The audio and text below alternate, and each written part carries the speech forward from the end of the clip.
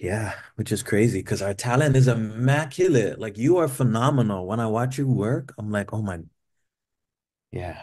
Stop it. I'm not an actor. I don't know what you're talking about. You're not an actor. I'm not an actor. Stop it. I'm I'm stand-up comedian now. Yeah, yeah, yeah. Well, I'm, I mean, it, it takes even more gustos to do that. I could never do stand up, man. That Whoa, hold on. Fuck off. You? That's terrifying. To stand up, How? You do it. You do it. Like, what do you mean? I I You have a do it. character to I have a character to hide behind. You know what But I then mean? with that, like that's I guess another thing, another perspective to look at it. But then it's like, okay, create a character. And that's Right, why I love English comedians. English comedians, when they're on stage, they embody somebody who you who they're really not right, in real right. life. Is that your approach to it? Do you do you? no, I'm I'm a storyteller with that. And like I find I've had more success with stories that I can pull from. Right, right, right, right. I don't know And what that says about me, but I wish I could be one of the ones who could just make up a funny story, but right, they're not right. that funny. But I mean, like there, there's something so comedic about about the mundane and and like the ordinaries of life that Mhm. nobody talks about, which is like when somebody puts it to you plain and simple and you look at it, you're like, fuck, life is really tragically funny. Like Yeah. tragically, it's it's so sad that sometimes you just have to laugh.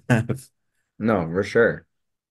So like even with that, where putting on a character or anything like that, are you just sticking to acting then, or are are you, are you writing? I am, yeah, I'm do I'm writing, doing a lot of writing. Um, but even Anything you're willing to share? What are you writing right now? um I'm writing I'm writing this story about uh this world in which um prisons are over overpopulated. So what they're doing is they're um they're uh inducing inmates into comas and uh like dreamlike comas and storing their bodies into prison walls like like they do in the morgue. So you are to serve out your sentences in this um the the, the film's called Purgatory. So you're living out your your sentences in purgatory. Um it's an interesting concept. Does that does it count though? Because like you're in suspended animation now, so you're not actually living out your sentence. Because then if you get if you get defrosted, then Mhm. you're just back to who you were. It's true, but the world as you know it has moved forward. Uh, another like um another factor to it is like you, you don't age while you're in purgatory. So the world as you know it has moved forward. So once you're out of purgatory, your daughter's older, your wife maybe probably has moved on and is much older and um Hmm. you have no concept of time. You are just in this dark purgatory where all you're doing is basically shoveling a hole in this muddy, uh, what looks like Vancouver. Oh, sorry. In this muddy, rainy field until your sentence is over. You can have the benefits of life. It just m means you have to spend more time in purgatory, you Hmm. know? Um, so yeah. And then what And happens? then is this um a play? Is this feature? Is this a Yeah, TV it would show? it would be a feature. Okay. It'd be a feature. So cli um climax is you re uh this um the main character is released from purgatory. Um uh this is the first time they've been doing it, so he's released from purgatory. It's an experiment. They release him into society to see how he um how he assimilates back into regular life. But then a repo man comes and he starts repossessing all these inmates to come serve out the rest of their time. So Gets messy. There's still a lot of kinks I need to iron out, but that's where I'm going with it. Um, who's your dream cast for this? You, This guy. um, I don't This know. guy.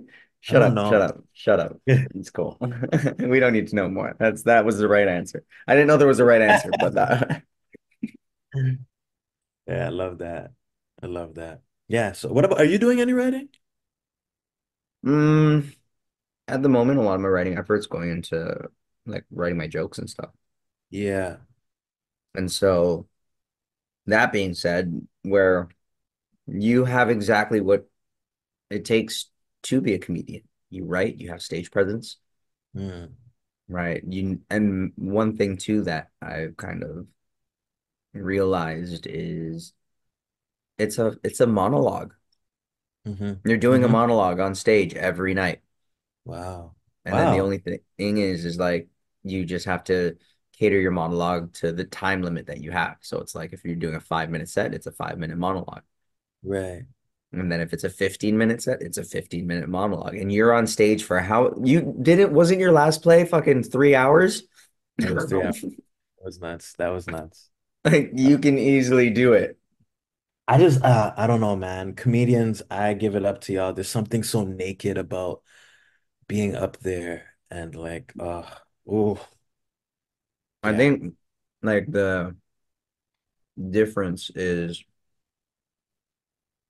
theater is left for interpretation, where comedy is it has to be funny. Yeah. And so it's like even when I first started, like I my jokes didn't my jokes weren't punchy. Mm. People would like get a small laugh out of them, they get a chuckle, but it didn't punch. Right, right. And like other comedians would like come up to me afterwards, like, yo, you have everybody listening. So it's Yeah, you have this stage presence, everybody is listening to you. Now you just got to make it funny. Like, Right, "Hmm, right. interesting. Yeah. Yeah, So yeah. with that, and then just the concept of just rewrites, and I'm pretty sure you've already mastered the concept of it, it's okay to fail on stage. Yeah. Oh, for sure.